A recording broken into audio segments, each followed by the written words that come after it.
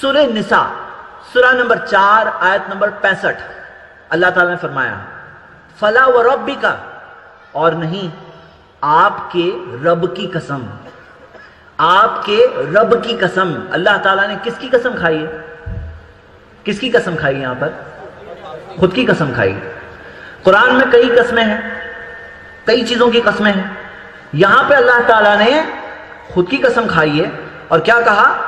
فلا و ربی کا آپ کے رب کی قسم، لا یومنون وہ لوگ ایمان والے نہیں ہیں۔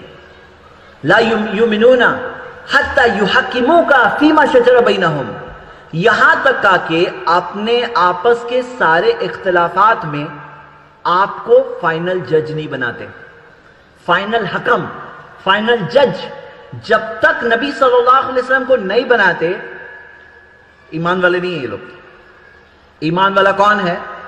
جب نبی صلی اللہ علیہ وسلم کی بات آ گئی، سمعنا و کون ہم نے سنا اور مان لیا، فرما برداری کی۔ تو ہم دیکھتے ہیں کہ ایمان والا کون ہے؟ جو نبی صلی اللہ علیہ وسلم کی بات آنے کے بعد مان لی، تو اللہ تعالیٰ نے فرمایا، فلا و ربی کا آپ کے رب کی قسم، لا یومنون وہ ایمان والے نہیں ہیں۔ حتی یحکمو کا فیما شجر بینہم، یہاں تک کا کہ آپس کے سارے اختلافات میں آپ کو فائنل جج نہیں بناتے۔ ثم لا یجدو فی انفسہم حرج مما قضیت۔ پھر وہ اپنے نفسوں میں تھوڑی بھی رکاوٹ نہیں پاتے۔ اپنے نفس میں تھوڑی بھی رکاوٹ نہیں پاتے۔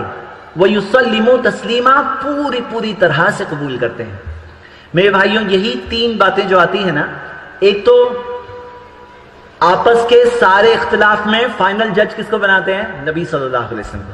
دوسری بات آپس کے سارے اختلافات میں نبی صلی اللہ علیہ وسلم کی بات فائنل مانتے ہوئے اسے پوری پوری طرح سے قبول کرتے ہیں اور دل میں تھوڑی بھی رکاوٹ نہیں لگتی، کیا میں کر رہا ہوں؟ میں کیوں کروں؟ یہ میں کیا کر رہا ہوں؟ نبی کی بات ہے نا، ختم ہو گئی بات۔ تو یہ آیت ہم یاد رکھیں گے کیونکہ سمجھنے اور سمجھانے کے لیے یہ بہت اہم بات ہے۔ سورہ نساء، سورہ نمبر چار، آیت نمبر پینسٹھ۔